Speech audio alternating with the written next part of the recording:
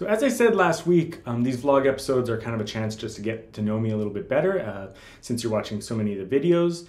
Um, so that was a little slideshow of where I live. So I live in Victoria, British Columbia, Canada, and um, that's on the Pacific Ocean. That's on the west coast of Canada. And Victoria is located on Vancouver Island, which is a, a very large island, like it takes seven hours to drive up.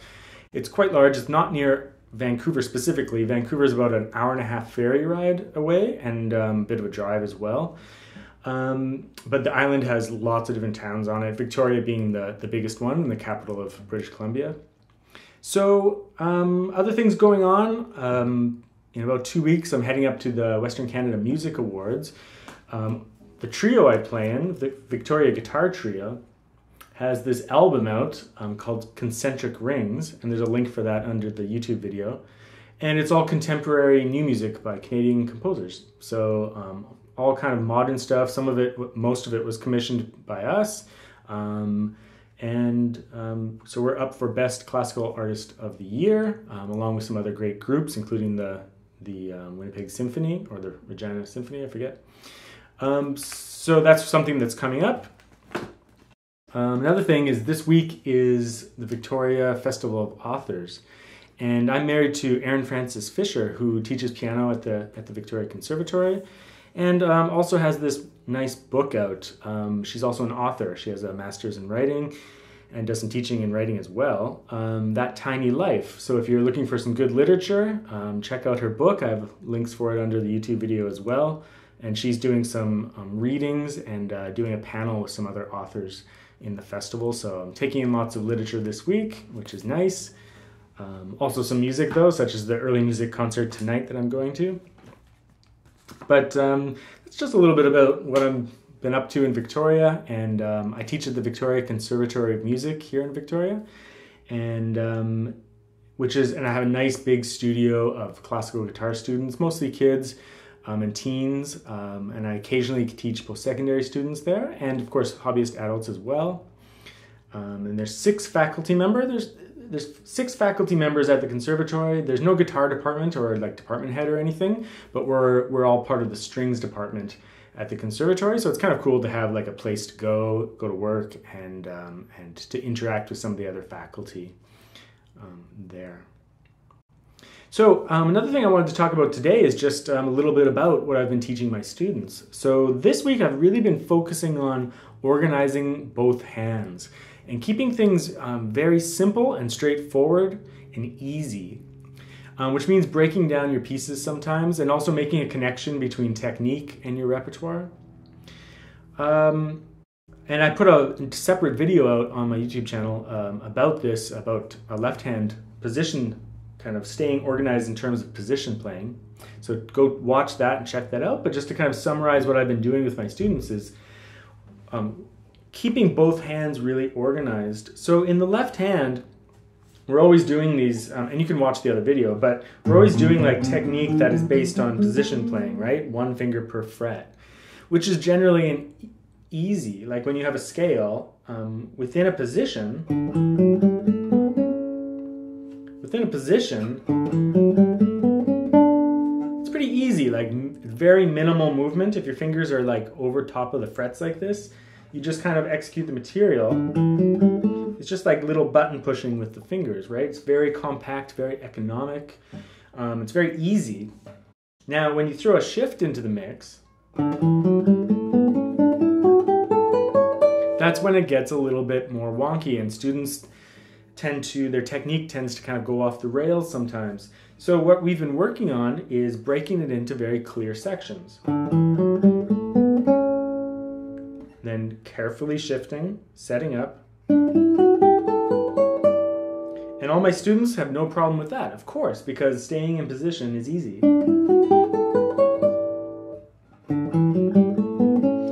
And then carefully shift. But it's that shift where things go wonky. So sometimes, like students, their thumb lags behind, or they reach out their fingers, or they change their hand position because they're reaching out like this. Um, what I've been teaching them is just really trying to organize their hand, do a clean shift, take as much time as they need, and and then doing the next section, and then you piece it together.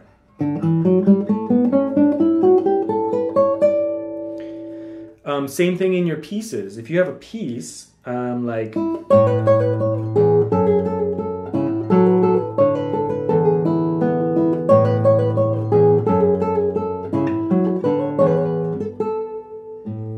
Um, if you have a piece like that, um, things can go wrong all over the place. But if you practice it in positions very carefully, it's actually really easy to play, right? That's easy. That's easy. That's easy. And that's pretty easy it's the shifts that are difficult, right? That's where things usually go wrong. So that's um, what we've been tackling on is making sure we practice the individual positions um, very carefully to make sure that it's easy to play and we just do it.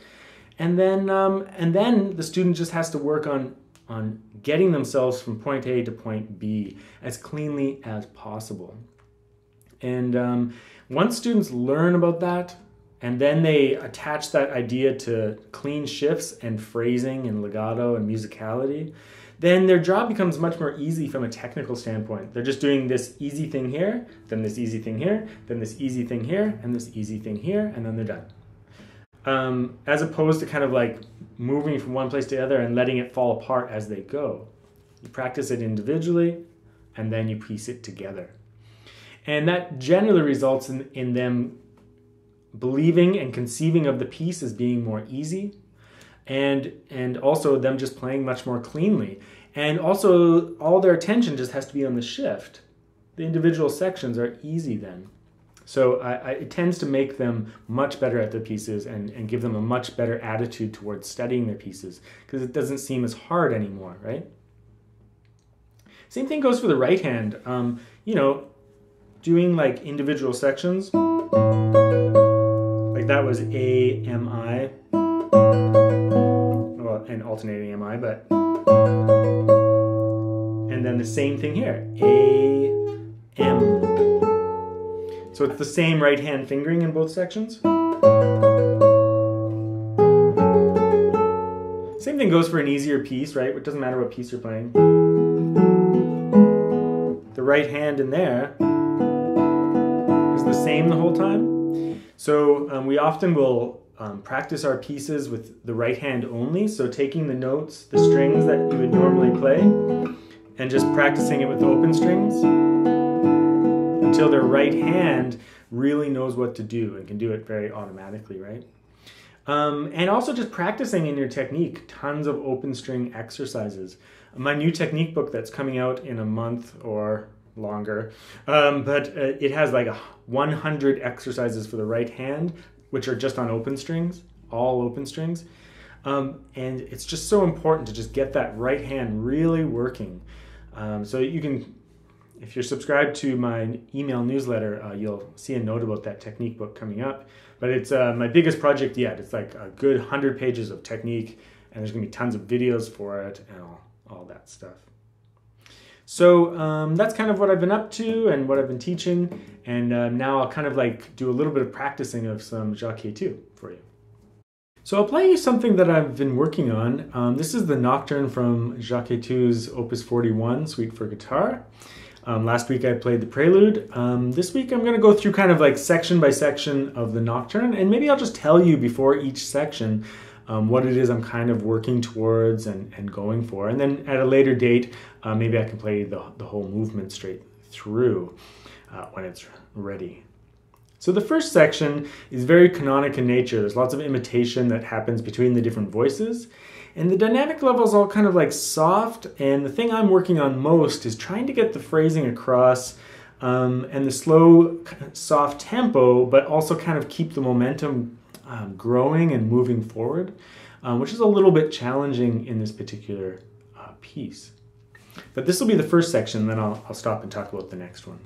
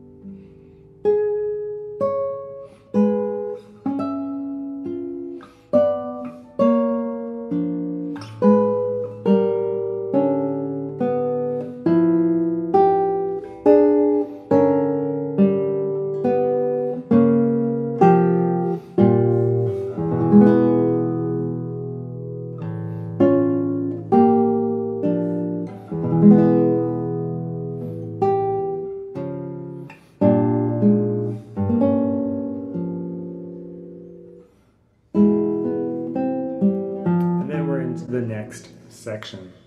So this next section, it really starts to heat up a little bit. There's constant eighth notes happening, so it's um, starting to really pick up, and there's still some imitative uh, work going on for sure. But the voices they um, they exchange a lot more, uh, making it kind of exceedingly difficult in the left hand um, a little bit. So keeping the the dynamic level down and also dealing with the chord changes and all the activity is uh, a lot more challenging than I, I thought it would be at first. And so I'm just trying to kind of keep it in control and suppressed, but also bring out all the lines nicely.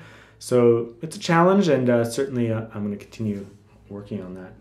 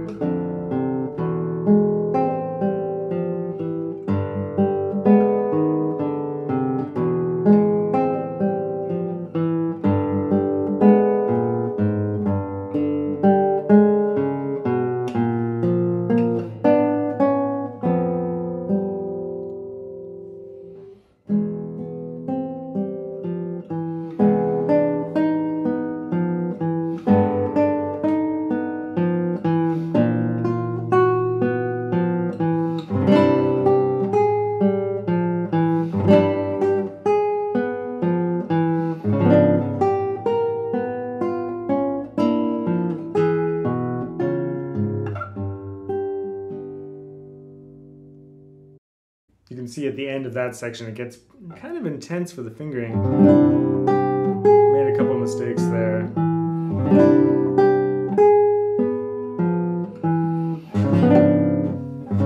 This chord just kills me. Because there's an open E at the top, so you really have to like get a whole bunch of fingers crunched in and bend over that first finger to get that open E. It's not that bad in isolation, but once the tension builds up a little bit in the hand, it's pretty tough to get. Just have to practice it super slow. Um, the next section um, is very mysterious and very tasto and very suppressed again.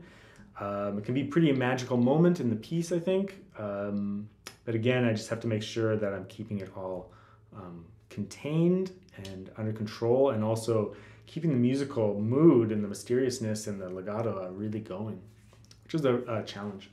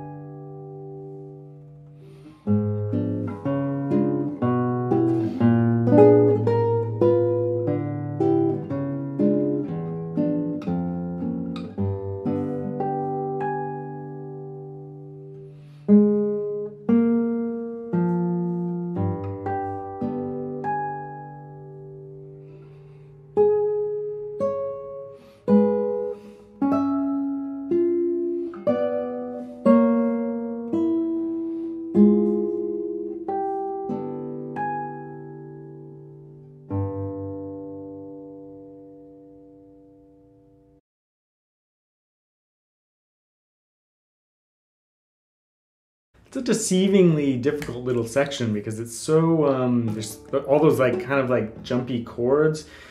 And uh, but mainly just because the mood is so specific. It's um, so um, tasto and legato and mysterious and soft that um, it's it's tough to put that all together. Sometimes it's easier just to play like extroverted music but in this one keeping it all contained is the, is a real challenge. So um, hopefully I can play that for you again um, and play the whole movement straight through after a little little bit more practice. So hope you enjoyed the vlog episode this week, and there'll be more of them, but there'll also be the, the normal lessons and repertoire on the channel as usual.